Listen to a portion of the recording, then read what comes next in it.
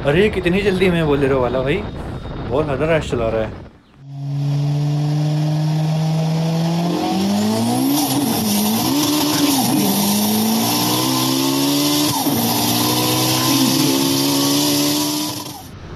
Hello friends so finally कई दिनों से इंतज़ार करने के बाद में अब मेरा एक नया व्लॉग आया है।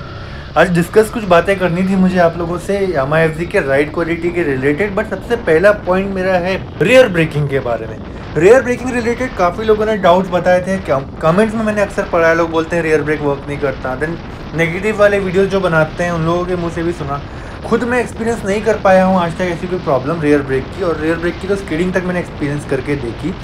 एंड ये वाला वीडियो बनाने के पहले भी मैंने रेयर ब्रेक की और टेस्टिंग करी जस्ट टू इंश्योर कि क्या मुझे कोई गलत फहमी तो नहीं है। बट अगेन रियर ब्रेकिंग मेरी काफ़ी ज़्यादा इफ़ेक्टिव है। अगर मैं रियर ब्रेक को पूरा का पूरा दबा दूँ ट्वेंटी थर्टी की स्पीड पे या फोर्टी की स्पीड पे तो अच्छी खासी लंबी डिस्टेंस तक स्पीडिंग करके जाता है। लेकिन गाड़ी स्ट्रेट लाइन स्टेबिलिटी बरकरार भी रखती है। तो it's safe also and effective as well मतलब रोज़ ट्रैफ़िक में अगर चलाना है तो रियर ब्रेक बढ़िया परफॉर्म मेरा कर रहा है। बट फिर भी किसी ने मुझे अगर बोला कि रेयर ब्रेक वर्क नहीं कर रहा, हो सकता है स्पेसिफिकली उनकी एक मॉडल में रेयर ब्रेक सही तरीके से सेट ना किया गया हो।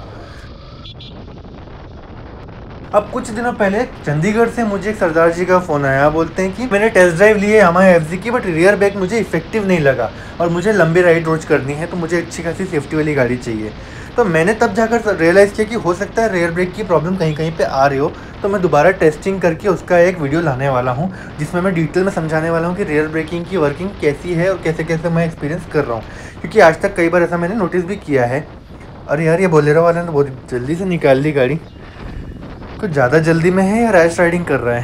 स्पीड काफ़ी थी और एकदम से ओवरटेक किया। देखते हैं इनके पास खड़े होकर के। सो so, मैं बोल रहा था कि रेयर ब्रेक जो है इसके बारे में मैंने कई लोगों से सुना और नोटिस किया कि हो सकता है किसी किसी बाइक में रेयर ब्रेकिंग ठीक से वर्क ना करी हो। वैसे तो डिस्क ब्रेक है और डिस्क ब्रेक जो होते हैं काफ़ी ज़्यादा इफ़ेक्टिव होते हैं। ड्रम ब्रेक से अलग वही तो उनकी स्पेशल फीचर है। और रेयर ब्रेक डिस्क ब्रेक होने के बावजूद वर्क ना करे तो बहुत ज़्यादा बड़ा कंसर्निंग पॉइंट है। तो मुझे एकदम से बिलीव होता नहीं है कि रेयर ब्रेक वर्क नहीं कर रहा। इसीलिए सबको अवेयर करने के लिए मैं डिटेल वीडियो बनाने वाला हूँ। अब बोलेरो के साथ रेस करके देखते हैं, क्योंकि मुझे इसकी रैश राइडिंग देखनी है। मैं क्रेटा नहीं चलाता ऐसे जैसे ये बोलेरो चला रहा है, और बोलेरो में तो इतनी सेफ्टी फीचर्स भी होते नहीं है।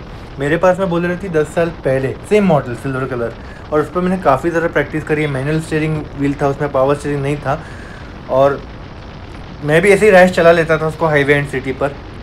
पतले पतले रोड जो होते थे, लगभग लगभग सिंगल लेन रोड्स भी होते थे, वहाँ पर भी चलाता था, घाट पे भी चलाता था। बट ऐसी राइडिंग तो मैंने भी कभी नहीं की।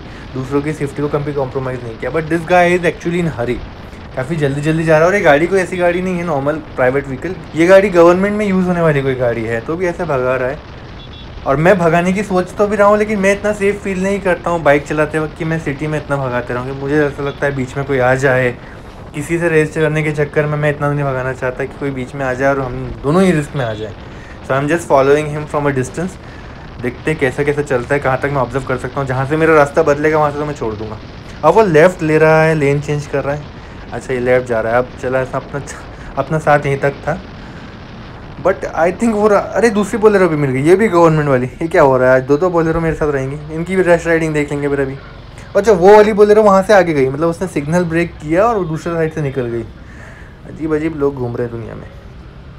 ये वाली बोल बोलेरो अलग मॉडल की है। व्हील कवर वगैरह अलग लग रहे हैं और थोड़ा सा उसमें ग्राफिक का जिसका रेडियम वगैरह लगा हुआ है येलो कलर का साइड में। शायद एनएमसी की गाड़ी होगी ये। लेट्स सी डिसेंट राइडिंग चल रही है फ़िलहाल इनकी तो। ये थोड़े से डिसेंट वाले बोले ड्राइवर लग रहे हैं।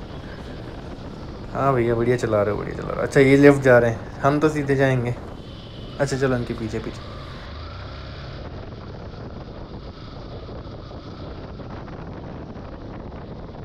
अच्छा अब लेफ़्ट जा रहे हैं ये, और हमें नहीं जाना है लेफ़्ट। हम जाएँगे सीधे अपने रास्ते पर। देखो दोस्तों, कभी भी रास्ते में कोई मिला, हमें इंटरेस्ट आया, हमने उनके साथ साथ गाड़ी पीछे पीछे चलाई पर कभी ये नहीं बोलना चाहिए कि हम एक्चुअल में घर से किस चीज़ लिए निकले थे। दूसरी बात रेस करने के लिए कभी किसी की और की ज़्यादा वाली स्पीड से मैच करने का कोई मतलब नहीं बनता। अनलेज एंड अनटिल आपने ये नोटिस किया हो कि उस रैश राइडर ने किसी का नुकसान किया और वो भाग रहा हो।